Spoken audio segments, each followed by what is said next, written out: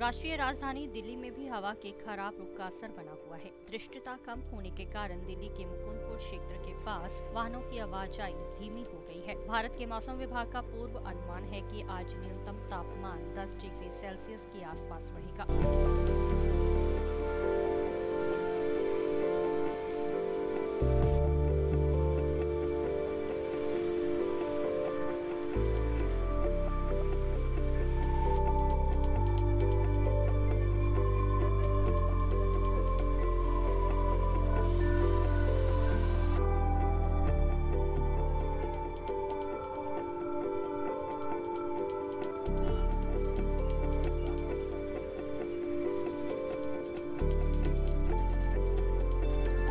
ਦੇਸ਼ ਦੁਨੀਆ ਦੀਆਂ ਤਾਜ਼ਾ ਖਬਰਾਂ ਦੇ ਲਈ ਹੁਣੇ ਪਲੇ ਸਟੋਰ ਤੋਂ ਡਾਊਨਲੋਡ ਕਰੋ ਪੰਜਾਬ ਦੀ ਆਵਾਜ਼, ਅਜੀਤ ਨਿਊਜ਼ ਐਪ। ਹੁਣ ਤੁਹਾਡਾ ਆਪਣਾ ਅਜੀਤ ਹਰ ਸੋਸ਼ਲ ਮੀਡੀਆ ਪਲੇਟਫਾਰਮ ਦੇ ਉੱਤੇ ਉਪਲਬਧ ਹੈ। ਫੇਸਬੁੱਕ ਦੇ ਉੱਤੇ ਹੁਣੇ ਲਾਈਕ ਤੇ ਫੋਲੋ ਕਰੋ ਅਜੀਤ ਦਾ ਅਫੀਸ਼ੀਅਲ ਪੇਜ ਡੇਲੀ ਅਜੀਤ ਤੇ ਹਾਂ, ਨਾਲ ਹੀ ਦੋਸਤਾਂ ਨੂੰ ਪੇਜ ਲਾਈਕ ਕਰਨ ਦੇ ਲਈ ਇਨਵਾਈਟ ਕਰਨਾ ਨਾ ਭੁੱਲਣਾ।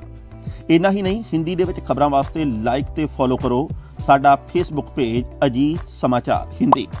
YouTube ਦੇ ਉੱਤੇ ਵੀਡੀਓ ਖਬਰਾਂ ਦੇਖਣ ਦੇ ਲਈ ਹੁਣੇ ਸਬਸਕ੍ਰਾਈਬ ਕਰੋ ਅਜੀਤ ਦਾ official YouTube channel Ajit web TV ਤੁਹਾਡਾ ਆਪਣਾ ਅਜੀਤ ਹੁਣ ਟਵਿੱਟਰ ਤੇ ਇੰਸਟਾਗ੍ਰam ਦੇ ਉੱਤੇ ਵੀ ਉਪਲਬਧ ਹੈ।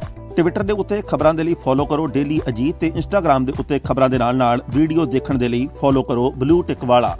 ਸਾਡਾ ਅਫੀਸ਼ੀਅਲ ਚੈਨਲ ਡੇਲੀ ਅਜੀਤ ਇਹਨਾਂ ਹੀ ਨਹੀਂ, ਅਜੀਤ ਦੇ ਵੀਡੀਓ ਹੁਣ ਤੁਸੀਂ Apple TV ਦੇ ਉੱਤੇ ਵੀ ਵੇਖ ਸਕਦੇ ਹੋ। ਤੇ ਨਾਲ ਹੀ ਅਜੀਤ ਅਖਬਾਰ ਦਾ ਡਿਜੀਟਲ ਐਡੀਸ਼ਨ ਪੜ੍ਹਨ ਦੇ ਲਈ ਡਾਊਨਲੋਡ ਕਰੋ ਅਜੀਤ ਈ-ਪੇਪਰ ਐਪ ਤੁਹਾਡਾ ਆਪਣਾ ਭਰੋਸੇਯੋਗ ਚੈਨਲ ਤੁਹਾਡੀ ਆਪਣੀ ਆਵਾਜ਼, ਪੰਜਾਬ ਦੀ ਆਵਾਜ਼ ਅਜੀਤ।